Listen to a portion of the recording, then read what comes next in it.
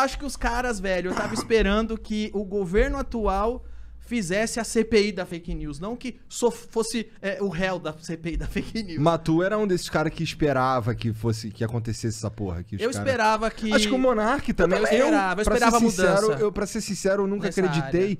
Porque, porra, o Bolsonaro é deputado mó tempão. Foi deputado mó tempão. Não vai ficar. Cara. Mas, cara, mas eu acho que as pessoas que depositaram alguma. E veja bem, eu também sou completamente crítico à política, assim. Eu sempre. é, é, no, no- tem um- no meu Twitter tem um tweet lá fixado que eu ia xingar o Bolsonaro, no independente do que ele fazer, porque é isso que o comediante tem que fazer com o presidente. Tem que zoar mesmo.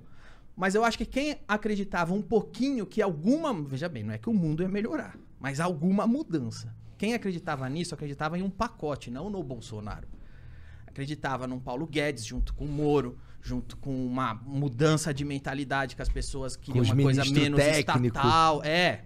Então, assim, eu tinha alguma esperança que os caras iam botar. Eles iam fazer a CPI da fake news, mas eles foram tão podre que eles sofreram a CPI da fake É, news. caralho.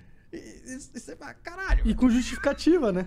É. Esse é o pior de tudo. Agora, duas, dois detalhes que eu acho importante sempre esclarecer. Hoje, se você for lá e xingar o Bolsonaro, você vai ser atacado aonde? Na, no Twitter, na- por fakes na timeline do Twitter. Que são os bolsominions. Aham. Quando você critica o Boulos, quando você critica a Manuela Dávila, você é atacado nas manchetes dos jornais mainstream.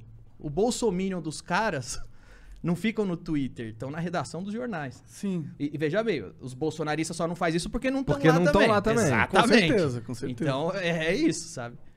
Ah, então você diria que a mídia é controlada pela esquerda? Ah, sem dúvida. Eu diria não, é, né? cara? Totalmente, velho.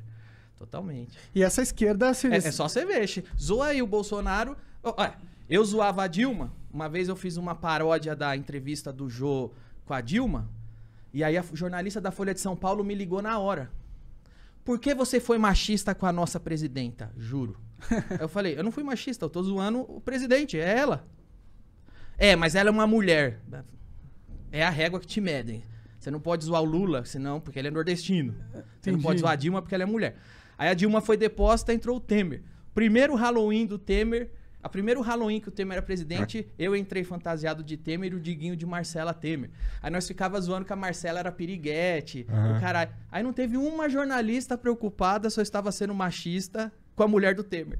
É. Maneiro, né? Com a mulher do Temer, pode.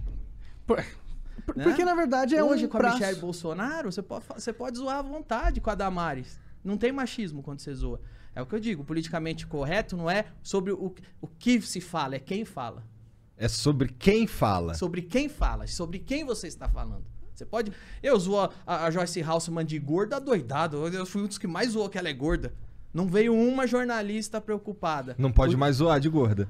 Não, mas com a Joyce Houseman pode. O dia que eu zoei. Não, mas não pode, Não porque ela não é mais não gorda. tá Ah, agora não pode mais zoar. Então eu vou zoar a Jace Gore. Agora de pelanca. Ó a pelanca da Joyce. Mas eu zoei a Joyce de gorda a vida toda. Ninguém veio me fuzilar. O dia que eu zoei a Manuela Dávila, você não pode zoar que ela é gorda, isso é gordofobia. Então, só pra eles que serve. Isso é... E eu faço questão de zoar isso pra mostrar mesmo. Pra evidenciar. Pra mostrar o conclusão pode ser esse lance dessa patrulha bizarra aí. É, quão Oh. unilateral ela é. Vamos tomar esse gin